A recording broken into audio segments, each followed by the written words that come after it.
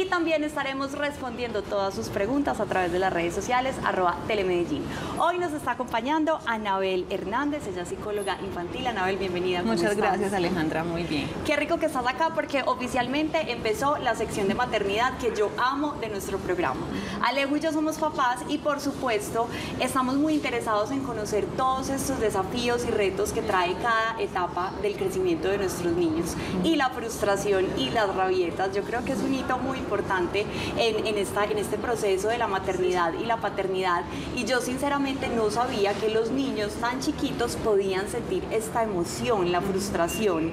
¿Desde qué edad se comienza a desarrollar esta emoción?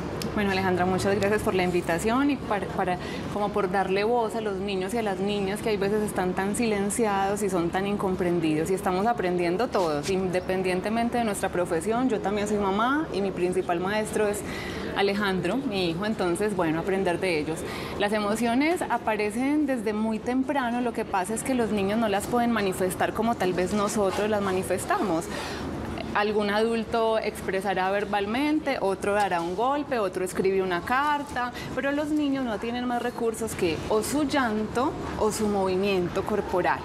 Y para nosotros adultos que tampoco sabemos manejar nuestra frustración, porque siempre fuimos muy frustrados, se nos decía no te subas, no preguntes, no hagas, no sientas, no pienses. Eh, entonces no, no se nos permitió también como manifestar nuestras necesidades. Algunas de ellas había que decirles que no a algo, porque nos generaban algún riesgo, porque le estábamos generando algún malestar a otra persona. Entonces a los niños, por supuesto que sí se les puede decir que no, pero a la mayoría de nosotros, quienes estamos criando hoy, se nos decía que no porque sí, porque yo soy el papá y punto. Y yo mando en la casa y se hace lo que yo diga. Y eso genera tanta frustración. La, la frustración además desencadena en violencia, en agresividad, en mucha desconexión con la otra persona, porque el niño nunca tiene una mala intención de si me subo acá es porque soy un eh, dañino, un necio, un hiperactivo, sino que si me subo acá es porque estoy escuchando mi impulso vital que me lleva a trepar, a escalar, a desarrollar mi motricidad. ¿Qué necesito entonces?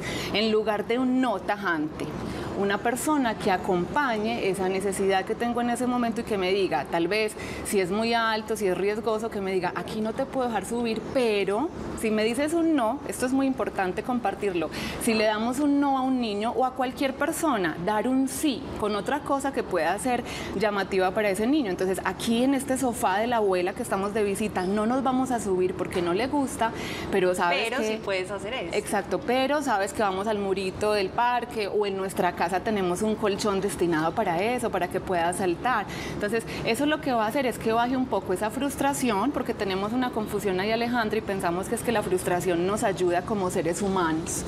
Y aquí me gustaría aclarar eso para que los papás y las mamás eh, y los profesionales también nos quitemos ese peso de encima. La frustración no es lo que nos ayuda a seguir adelante, lo que nos ayuda es darnos cuenta que somos capaces de, que somos perseverantes. Es muy diferente ser perseverante, intentar, estar motivados, además intrínsecamente, o sea, desde adentro, no la motivación externa de o el castigo o el aplauso, que hay veces pensamos que así estamos motivando a nuestros niños, pero lo que los hacemos es dependientes de nuestra aprobación, de nuestro aplauso. Eh, entonces, eh, permitirles a los niños poder llevar a cabo eso que necesitan, ¿cierto? Pero acom acompañándolos en el cómo, porque muchas veces no saben cómo. Entonces, lo que necesitan es una, como un redireccionamiento. En esto no lo haces así, pero esto sí lo haces así. Nosotros en el programa somos muy partidarios de que la crianza respetuosa es algo que todos los padres deberíamos practicar, pero yo siento que la línea es muy delgadita entre realmente establecer una crianza respetuosa en la familia y dejarnos la montar de los niños. ¿Cómo encontramos ese balance para no irnos a ese extremo de las generaciones pasadas en las que nos decían, no, yo soy el papá y yo pongo las reglas, así tiene que ser, pero tampoco permitir que el niño haga todo lo que quiere hacer, uh -huh. sin límites? Uh -huh. ¿Cómo lo hacemos? Bueno, es una línea muy delgada y por eso la crianza respetuosa es muy incomprendida porque parece que ahí son niños a los que se les deja hacer lo que les da la gana y pasan por encima del otro y no tienen límites. Eso es además una forma de maltrato, la negligencia y el descuido, porque cuando un niño siente que no hay alguien a su alrededor que, que lo contiene, ¿cierto? Que no digamos que lo dirige, porque no necesitan dirección los niños, pero sí necesitan acompañamiento y un continente. Entonces, eh, es una línea muy delgada, pero para eso necesitamos primero empezar a transformar nuestra mirada y comprender que el niño no es nuestro enemigo, no nos la quiere montar, no tiene malas intenciones. ¿De dónde vienen esos introyectos? De lo que se dijo de nosotros. Si, si, de mí se decía que era una niña rebelde, desobediente, necia, pues es muy difícil que yo cuestione esto y que diga, no, es que mi papá y mi mamá estaban aprendiendo también, no tenían ciertas herramientas e información en lugar de decir, eh, no, es que yo no era eso, sino que mis papás no tenían esas herramientas. Yo creo que yo soy eso. Entonces me llega un pequeñito con el que no me puedo comunicar todavía verbalmente y le atribuyo eso también. Entonces primero transformar nuestra mirada y comprender quién es un niño y qué necesita. El niño no pide porque es altamente demandante, no expresa lo que siente porque es un rebelde o porque no, es porque necesita ayuda y acompañamiento. Eh, es muy importante cuando hablamos de la frustración poder hablar un poquitico de los límites y los límites no es decirle no a alguien. Si vos me decís a mí, por ejemplo, eh, no te sientes de esta manera, yo no voy a, comprender por qué, pero si me decís, mira, siéntate mirando de pronto a este lugar, a esta cámara, porque así tal cosa, si me das el, como el contexto, si me explicas el por qué, es mucho más fácil para el otro, niño o adulto, comprender eso que se le está diciendo. Entonces, cuando vamos a, a poner un límite, para mí es muy importante que quede claro que primero debe haber una anticipación. Si no se le anticipa al otro lo que está sucediendo y por qué y para qué, el otro no es un protagonista en ese vínculo entonces, sino que es solamente el que dice que no, el que dirige. Que Una figura de autoridad. De autoritarismo, sí. porque la autoridad es alguien que, que infunde respeto, confianza, vínculo, pero el autoritarismo es una relación vertical, yo mando y yo digo que hay que hacer, que eso para nada genera vínculo ni, ni, bienestar, genera distancia. Puede que el niño obedezca porque tiene miedo de un golpe, porque tiene miedo, pero ahí no hay vínculo, no hay aprendizaje en el niño, hay obediencia, que es muy diferente. Entonces, anticipar, eso es muy importante. Si, yo, si vamos a un lugar donde hay unas porcelanas, llegamos a un almacén y sabemos que el niño por naturaleza tiene una necesidad vital de tocar, de explorar, incluso si está muy pequeño, de llevarse a la boca las cosas, eh, entonces sabemos que eso va a suceder, le anticipamos, vamos a ir a este lugar, a la casa de la tía que tiene sus materitas o sus... Y si puedo anticipar, yo le digo, te llevo tus juguetes porque en ese lugar donde nos vamos a quedar un ratico, ojalá no estemos con los niños en entornos que no están preparados para los niños, porque sería exigirles cosas que no pueden dar. Es como si yo, ahora que te escuch que escuchaba que te gusta mucho el helado, si te pongo aquí una heladería completa y te digo, no comes helado, estoy desconociendo tu ser y te estoy generando una frustración innecesaria que qué va a generar? Que cuando nadie está mirando, cojas el helado y que por ahí derecho te sientas inadecuada, incapaz, poco suficiente porque estás como yendo en contra de lo que te pidieron, pero nadie te anticipó y te pusieron en una situación que no podías manejar. Entonces eso, la anticipación. Vamos para tal parte, puedes hacer esto y no puedes hacer esto porque tu tía tal cosa no le gusta. Y lo segundo, después de la anticipación, darle opciones. Entonces, ¿qué es la opción? Amor, no le gusta que le toquen las porcelanas porque sabes que de pronto se caen y se quiebran y son muy importantes para ella, así como tu carrito, tu juguete. Pero sí la podemos tocar con un dedito. Miren, esto es una técnica que a mí me ha salvado en muchos momentos. Ya mi niño tiene casi siete años, pero en su etapa de bebé no es que funcionara el 100%, pero les digo que el 95% decirle a un niño, no toques así o no agarres así, pero toca con un dedito, porque los niños son un órgano sensorial completo no pueden diferenciar lo que ven, lo que huelen, lo que tocan. Quieren tocar con sus ojos, quieren oler con sus manos. Entonces, eh, nosotros adultos... Se lo quieren untar, quieren explorar mucho. A nosotros eso ya se nos olvidó, pero cada uno de nosotros también estuvo ahí y también recibió eso de sos un necio, sos un inquieto, sos un... Entonces nos fuimos desconectando de esa pureza, de tanta creatividad, de tanta curiosidad que teníamos. Entonces, en el decirle toca con un dedito, el niño que recibe recibe, mi mamá comprende mi necesidad. Eso ya es gran, o sea, es grandísimo, porque es el vínculo que se va fortaleciendo ahí. Y me está diciendo que no a algo, porque mi mamá sabe, pero me está diciendo cómo sí hacerlo, porque muchas veces les decimos que no, pues no les decimos entonces cómo sí. Yo acompaño pues familias en consulta, en sus procesos de crianza y muchas familias llegan con sus ganas, su deseo de dejar de pegarle a sus hijos, ya se han dado cuenta o dejar de gritar. Y lo saben y yo les puedo decir, sí, no está no sirve para nada que le pegues a tus hijos y entonces si no les digo, si no los acompaño a cómo hacerlo, se quedan en las mismas. Igual dejamos desprotegidos a nuestros niños cuando no les decimos entonces cómo sí hacerlo. Y miren que ahí dijimos que no, Ahí fuimos el papá adulto, responsable, protector, que direcciona una acción, pero no solamente con no porque lo digo yo, sino no porque esto puede ocasionar un daño, no por la razón que sea, y esto no, pero esto sí.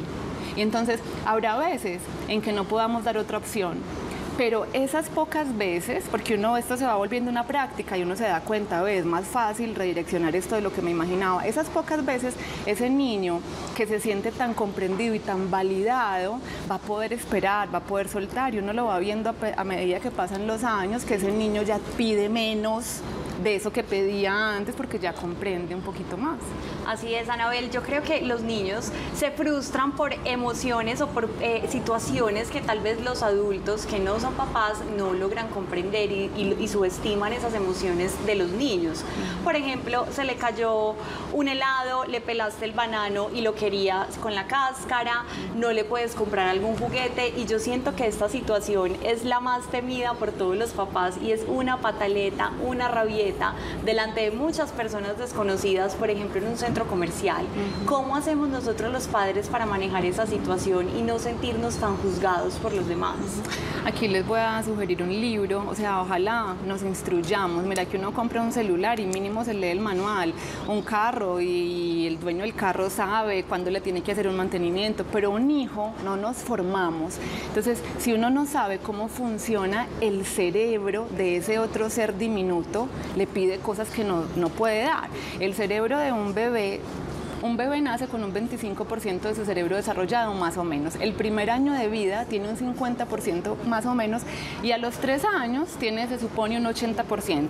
Se termina de desarrollar a lo largo de la vida, pero está todavía muy inmaduro en el área de las emociones durante esos dos o tres primeros años. Se desarrolla el lenguaje, la motricidad, muchas cosas, pero las emociones, pues miren, nosotros 30, 40, 50 años y todavía con tanta incapacidad para expresar lo que sentimos para pedir lo que necesitamos. Ahora un niño. Entonces, si vos le servís a tu niña o a tu niño una, un vaso de agua en la tacita roja y quería la tacita verde, su cerebro no es que ella sea una caprichosa, es que no le permite comprender y tramitar, que es lo mismo tomar en cualquier color, no le permite, porque está tan apasionada por eso. Y yo antes de venir al programa, que me estaba vistiendo, lavándome los dientes, y preciso me cae una gota en la camiseta. Yo tengo 41 años, ya tengo capacidad de tomar decisiones, de elegir otra camiseta, de posponer.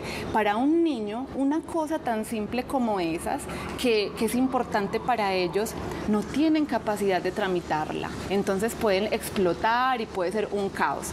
Esos caos, como lo decís Alejandra, muchas veces suceden en público. Porque si a uno le pasa en la casa, uno de pronto o pide ayuda si está el, esposo o mamá o alguien que le ayude. Ojalá el adulto también se pueda regular porque se nos alborotan nuestras propias emociones reprimidas. ¿A cuántos de nosotros no, si teníamos una necesidad, se nos daba un golpe, un castigo? A mucha gente se metía en el chorro de agua fría, o sea, son... Eh, sin límite de las, la cantidad de formas de maltrato y de, falta de acompañar las emociones. Entonces, eso es lo que nos aparece. Así hayamos hecho un curso de crianza respetuosa, nos hemos leído muchos libros, pero si uno no ha podido trabajar, ya sea en terapia, cada persona verá su propia infancia, pero te sepas todo, míralo a los ojos, ponte a su nivel. Lo que te aparece en ese momento es tu reacción automática de lo que te pasó a vos. Por eso hay que tener eso claro para buscar ayuda si es necesario.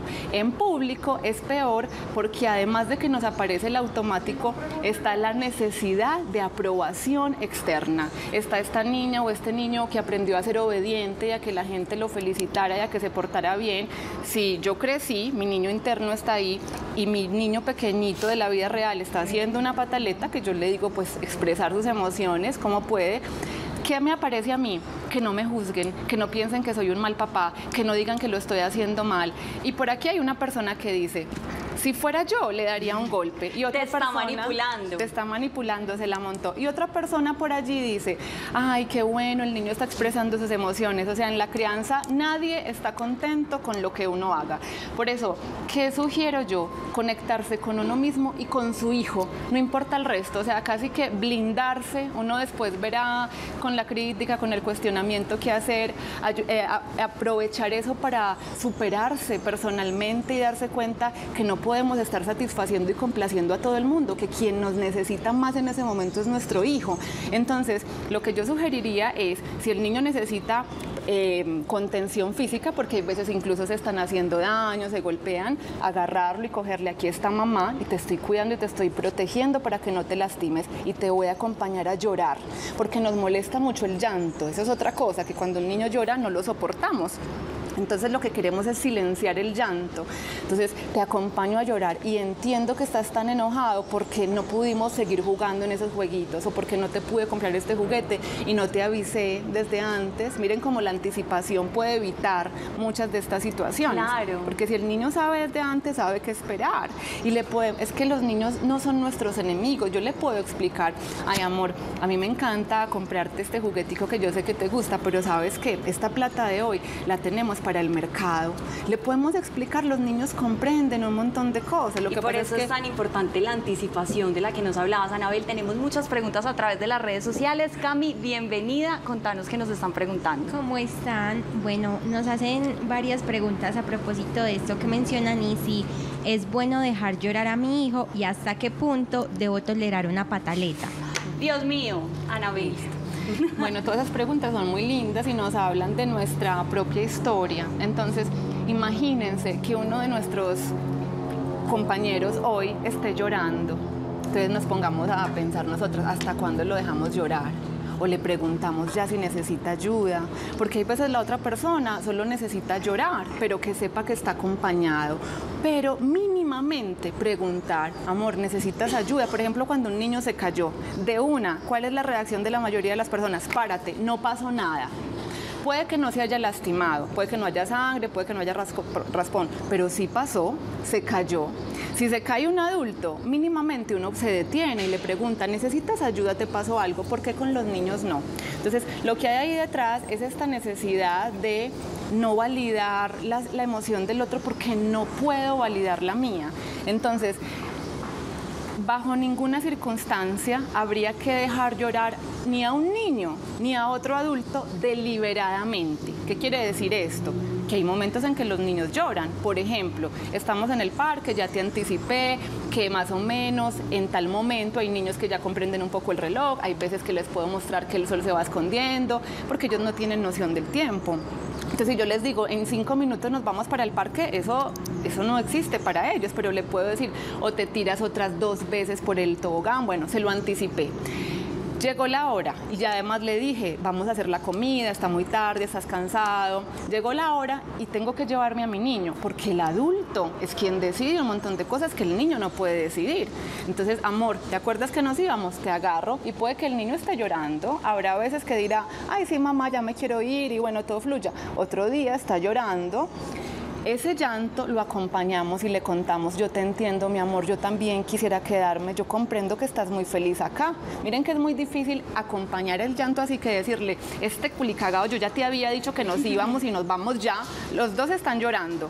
Pero en la primera escena el niño se siente acompañado y sostenido y que puede sentir, que tiene derecho a sentir. En la segunda escena el papá o mamá pues que no tiene muchos recursos porque como les decía al principio, no nos la sabemos todas los papás, estamos aprendiendo aprendiendo de aquí que nadie se dé látigo.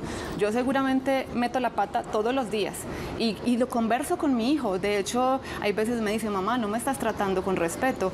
Y, y me hace, me zarandea, ¿cierto? Por dentro, pero es bueno que ellos sepan cu- cu- cuál es el trato que se merecen. Entonces, no dejarlo llorar deliberadamente. Algo, algo que está muy de moda, que es el entrenamiento de sueño. Es tóxico, es traumático. Yo recibo y acompaño familias que están tratando de revertir los efectos nocivos de un entrenamiento de sueño. Lo que sucede cuando hay un llanto que no se acompaña es que se apunta a las áreas del cerebro que están conectadas. Nada más y nada menos que con las adicciones, con la depresión, la ansiedad, el suicidio. Entonces, Impresionante. no, hay una autora que se llama Rosa Jove, una neuropsicóloga, pueden buscar sus videos en YouTube y muestra muy bien por qué no hacer este tipo de prácticas, que a veces estamos desesperados y queremos hacerlas, pero entonces siempre acompañemos el llanto del otro. ¿Qué era lo otro de la pataleta? ¿Hasta qué punto es bueno dejar una pataleta? Entonces, cuando comprendemos que la pataleta no es que sea una bobada del niño, sino que siente algo, que tiene algo que quiere manifestarte, eh, no me pregunto hasta qué punto debo dejarla. Porque ¿qué sería eso? Entonces la, la callo con un golpe o entonces la, hasta qué punto, ¿qué significa eso? No, acompaño. Hay veces que eso requerirá 10 minutos, hay veces 20 minutos, hay veces media hora, hay veces nos quedamos dormidos los dos eh, del cansancio, de toda la emoción que apareció ahí. Otra cosa que les quiero contar que esto, cojámoslo con pinzas, pero muchas veces los niños expresan y manifiestan cosas que papá o mamá no han podido tramitar y los niños son muy sabios y muy perceptivos y las, las, expresan ellos. Entonces hay que ver también qué regulación está en la casa para no responsabilizar solamente al niño de eso que está pasando. Para que no recaiga todo sobre ellos. La maternidad es un proceso de aprendizaje diario. Anabel, qué información tan valiosa y tan importante nos acabas de enseñar. ¿Dónde te podemos encontrar si alguno de nuestros televidentes quiere tener alguna consulta contigo? Bueno, puede ser en el Instagram, Anabel Desarrollo Infantil, por ahí yo comparto información y bueno, lo importante es que sepamos que estamos aprendiendo todos, que esto es un camino diario. Y ya. Muchas gracias por estar con nosotros hoy, Anabel. Y yo los